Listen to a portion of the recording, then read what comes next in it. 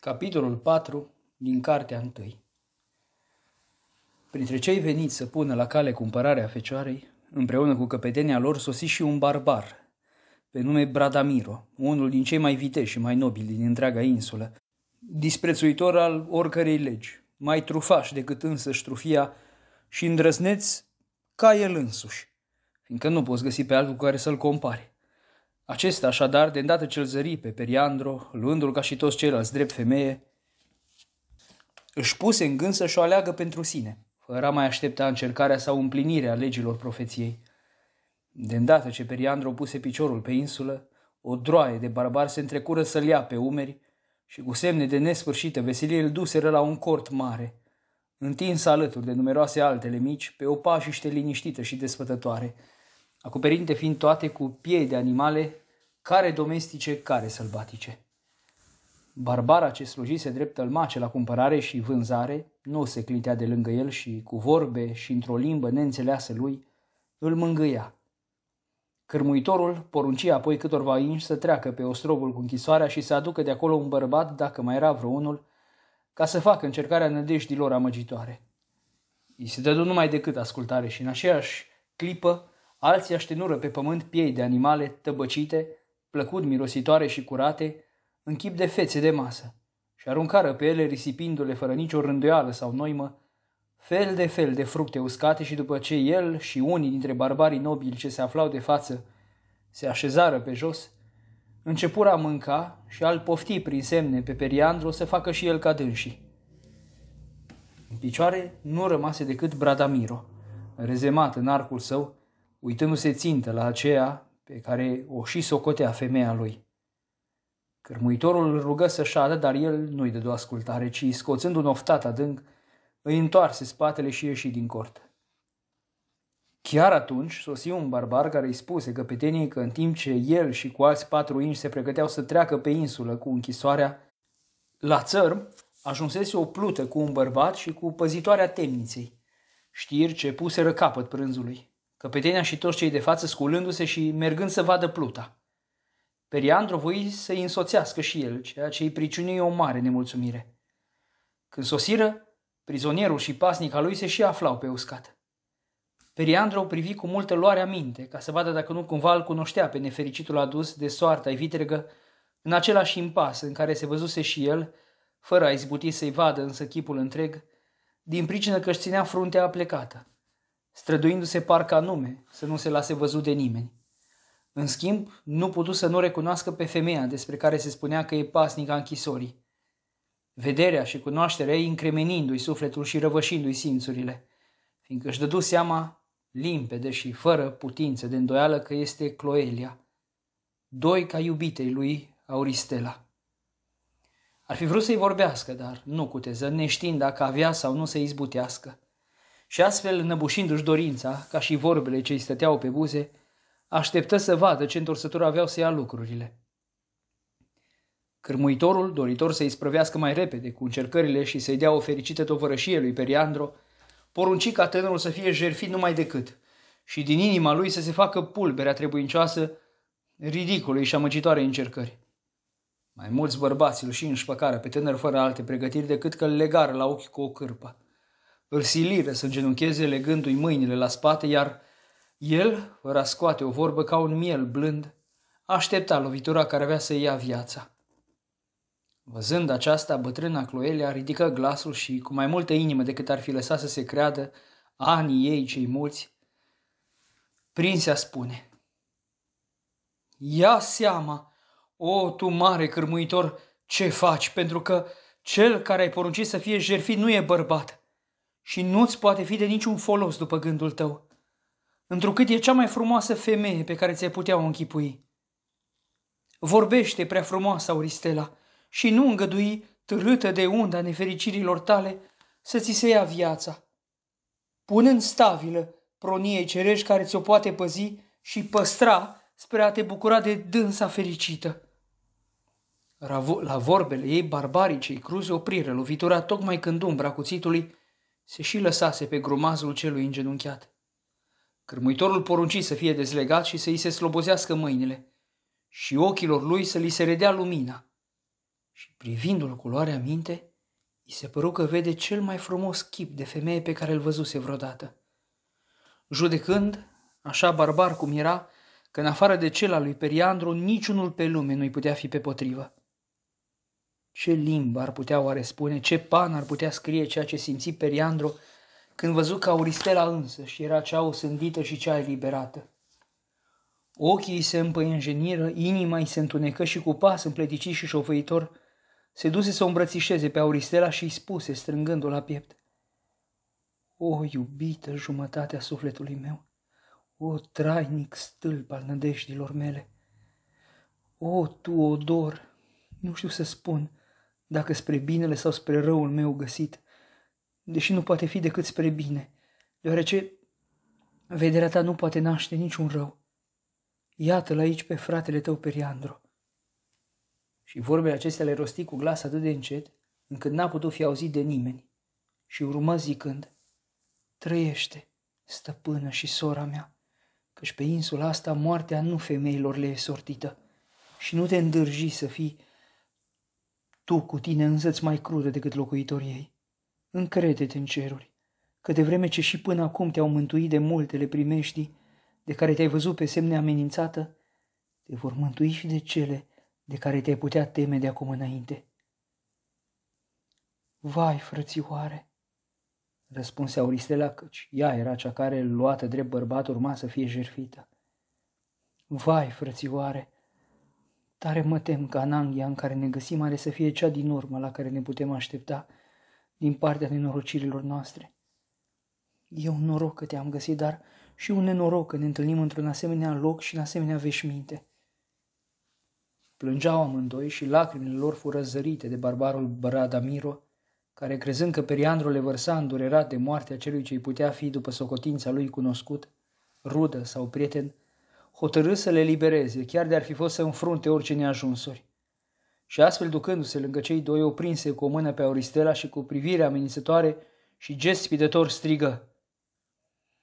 Nimeni să nu cuteze dacă ține la viața lui să se atingă măcar de un fir de păr al acestor două ființe.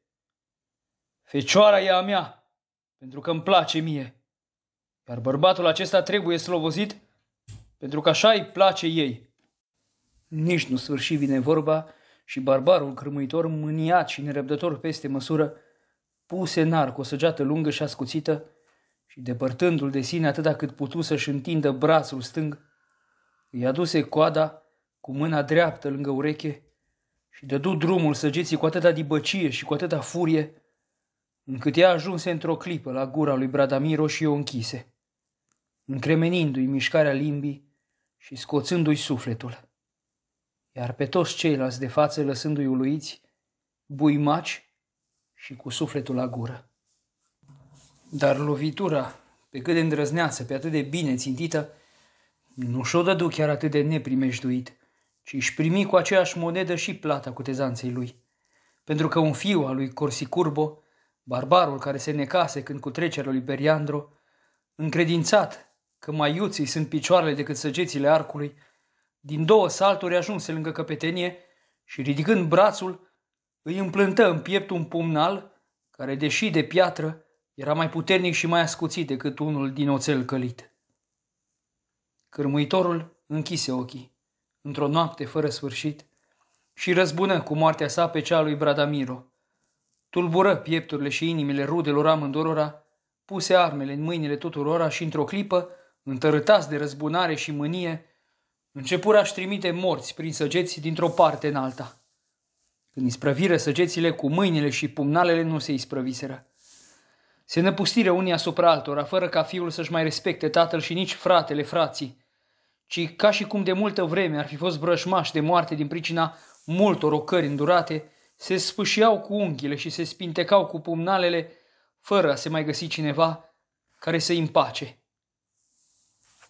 Printre săgețile, rănile, loviturile și uciderile acestea, se adunaseră la un loc bătrâna Cloelia, fecioara Tălmace, Periandro și Auristela, strângându-se unii între alții plin toți de spaimă și nedumeriți.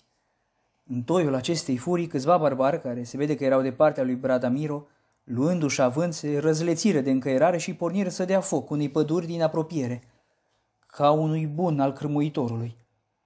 Copacii începură să ardă și vântul înteți furia, așa încât sporind flăcările și fumul, se temură cu toții să nu fie orbiți și arși de vii. Se lăsa noaptea, care și luminoasă de ar fi fost toți ar fi întunecat și cu atât mai vârtos cu cât era întunecoasă și neagră. Gemetele muribunzilor, strigătele celor care amenințau, trosnetele focului, nu în inimile barbarilor iscau teamă. Ei fiind orbiți de mânie și răzbunare, ci în cele ale bieților inși strânși la oaltă, care nu știau ce să facă, încotro să se ducă sau cum să iasă din impas. Și în această împrejurare atât de nelămurită, cerul nu uită să-i ajute într-un chip atât de neobișnuit, încât li se păru de-a dreptul o minune. Era aproape noapte și încă, așa cum spuneam, una întunecoasă și înspăimântătoare. Și numai flăcările pădurii aprinse răspândeau destulă lumină ca să poți desluși lucrurile, când un tânăr barbar veni la Periandru și în limba castiliană pe care acesta o înțelegea bine, îi spuse Urmează-mă, frumoasă fecioară, și spune-le și celorlalți care te însoțesc să facă la fel, că dacă cerurile mă ajută, am să vă scot la liman bun. Periandru nu răspunse niciun cuvânt, ci doar făcu astfel încât Auristela, Cloelia și Tălmacea să prindă curaj și să-l urmeze. Și astfel, călcând în picioare leșuri și arme de avalma, porniră după tânărul barbar care îi călăuzea. Îi băteau în spate flăcările pădurii cuprinse de pârjol, slujindu-le drept vânt ca să le iuțească pașii. Anii cei mulți ai Cloeliei și cei puțini ai Auristelei nu le îngăduiau să-și potrivească pasul după cel al călăuzului. Drept care, văzând cum stau lucrurile, barbarul, robust și în putere, o apucă pe Cloelia și o luă în cârcă, iar Periandru făcu la fel cu Auristela. Tălmacea, mai puțin gingașă, mai curajoasă, îi urma cu vigoare bărbătească. Și așa, mai căzând, mai ridicându-se, după cum se zice, Sosiră pe țărm și după ce merseră de-a lungul lui cale de vreo milă către miază noapte, barbarul intră într-o peșteră încăpătoare prin care marea intra și ieșea. Merseră câțiva pași prin trânsa, cotind când într-o parte, când în alta, drumul ba strâmbându-se, ba lărgindu-se, iar ei ba agățându-se, ba aduși de spate, ba încovoiați până la pământ, ba în picioare și drepți, până li se păru că ies într-o câmpie netedă și că își pot îndrepta oasele fără grijă după cum le-au spuse și călăuzul lor, deoarece ei nu puteau vedea nimic în bezna nopții, iar luminile munților pârjoliți, care tocmai atunci ardeau mai cu furie, nu puteau ajunge până acolo. Binecuvântat fie Domnul, spuse barbarul, tot pe limba castiliană, că ne-a adus în locul acesta, căci, deși aici ne mai poate pândi vreo primejdie, de moarte n-are să fie. Într-asta, văzură venind în fugă spre dânsii o lumină mare, a idoma unei comete sau, mai bine zis, unei stele căzătoare străbătând văzduhul. Ar fi așteptat-o cu frica în suflet dacă barbarul n-ar fi spus E tatăl meu, ne iese în întâmpinare. Periandro, care, deși nu foarte curgător, știa să vorbească limba castiliană, îi spuse Cerul să-ți răsplătească, înger cu chip de om sau oricine ai fi binele pe care ni l-ai făcut, căci chiar de n-ar însemna pentru noi decât o amânare a morții, îl privim ca pe o rară binefacere. Sosi între acestea lumina purtată de un om, barbar după cum părea și arăta de vreo 50 și ceva de ani după înfățișare. Ajungând lângă ei, puse jos lumina, care nu era decât o torță făcută dintr-un lemn gros, și se îndreptă cu brațele deschise către feciorul lui – întrebându-l pe limba castiliană ce se întâmplase de se întorcea într-o asemenea tovărășie. Tată, să mergem la așezarea noastră că multe avem de spus și mai multe încă de chipzuit. Arde insula. Aproape toți locuitorii ei au fost prefăcuți în scrum, ursând pe jumătate pârjoliți. Cele câteva rămășițe pe care le vezi aici le-am răpit dintr-un îndemn ceresc flăcărilor și tăișului pumnalilor barbare. Să mergem, domnule, așa cum spuneam, la așezarea noastră pentru ca milostenia mamei și a surorii mele să se vădească și să se facă simțite, alinându-i pe oaspeții aceștia ai mei, trudiți și înfricoșați. Tatăl îi călăuzi, toți îl urmară, Cloelia se însufleți, dovadă cu porni pe jos, Periandru nu vrut să lepe de povara cea frumoasă pe care o purta, întrucât nu era cu putință ca ea să-i fie o apăsare, de vreme ce Auristela era singurul bun de pe pământ. Nu merseră mult și ajunseră la o stâncă foarte înaltă, la poalele căreia deslușiră o încăpere sau o peșteră foarte largă, căreia însăși stâncile îi slujeau drept acoperiș și drept pereți. Ieșiră, cu facle aprinse în mâini, două femei îmbrăcate în straie barbare. Una, o fată de vreo 15 ani, cealaltă de vreo 30. Aceasta din urmă frumoasă, dar fata nespus de frumoasă. Una spuse, Vai, tată și frate dragă, iar cealaltă nu spuse decât, Fii binevenit, fiule, odorul sufletului meu. Tălmacea se miră că pe meleagul acela niște femei ce păreau sălbatice vorbesc altă limbă decât aceea obișnuită pe insulă. Și tocmai când stătea să se întrebe cărei minunii datorară ele cu nașterea limbii aceleia, împiedică porunca dată de părinte soției și fiicei lui, și anume să acopere cu blănuri pământul peșterii golașe. El îi dă dură ascultare rezemând faclele de pereți și într-o clipă, zeloase și harnice scoaseră din altă hrubă ce se deschidea și mai în adânc, piei de capră, de oi și de alte animale, împodobind cu ele pământul și stăvilind frigul care începea să-i supere.